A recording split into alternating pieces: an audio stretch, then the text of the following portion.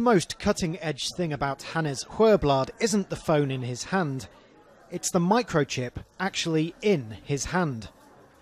The tiny implant is the latest advance in a biohacking technology that is steadily becoming a part of normal life in Sweden. We have created a new implant, which is not a chip, it's a full device where you can add different lights, different uh, vibration, different functions. Sweden is a very tech literate society. And I think this is the main explanation, really, why a lot of Swedes are uh, adopting chip implants. Swedes haven't been shy about upgrading themselves with the new version. Thousands already have microchip implants that they use in their daily lives, waving their hand to gain entrance to the gym, confirm their ID, or make payments. A short moment of pain not putting them off becoming part Swede, part machine. This event is an implant party, simply where ordinary people can show up and get a microchip embedded under their skin. The biohacking movement in Sweden is hosting them all over Europe, but it's at home where they get the most willing recipients. I think it's really cool.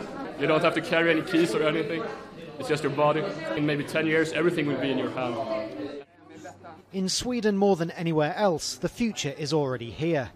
The national train company SJ has around 2,600 people signed up to use microchips instead of train tickets. Did you see that? And no need to mind the generation gap. 18 year old Felicia and father Magnus still bear the scars of their new implants. Student Hannah Herving is also freshly chipped and now just needs to program it to open doors. Although, importantly for a future career, it does already connect to her LinkedIn. Some people say I'm mad that um, I don't know if it's safe and all that, but people have been putting these chips into animals for 20 years, so I'm not worried about that. The long term goal is for the new chips to help provide medical care in remote communities. They're already getting under the skin of the Swedes and may soon become just another normal part of modern life and of the human body. Paul Rees, Al Jazeera, Lund, Sweden.